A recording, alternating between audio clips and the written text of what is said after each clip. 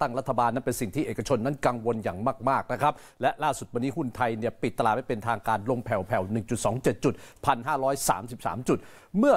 สัปดาห์ก่อนเดินสายไปคุยกับสภาอุตสาหกรรมแห่งประเทศไทย วันนี้คุยกันเสร็จแถลงกันออกมากับหอการค้าไทย หลากหลายประเด็นที่ตอนนี้มีความกังวลแต่อยากให้เร็วที่สุดนะครับ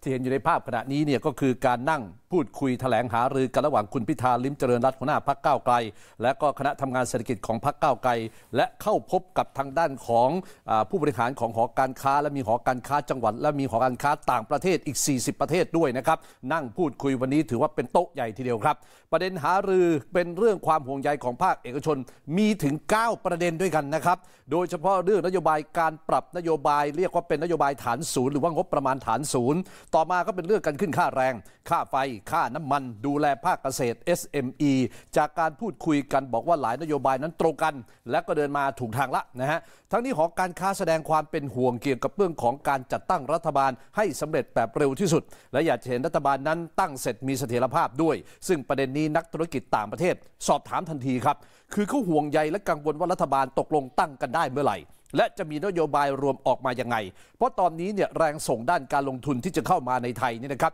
ชะงักงานหมดเลยฮะถ้าหากว่านโยบายนั้นไม่ชัดเจนนะครับ ส่วนการจัดทำงบประมาณฐานศูนย์ตามที่พักก้าวไกลแล้วก็พักร่วมรัฐบาลได้ประกาศไว้ หอการค้าไทยบอกเห็นด้วยเลยครับแต่ว่าต้องใช้เวลานะฮะ และต้องทำความเข้าใจให้เกิดขึ้นจริงด้วย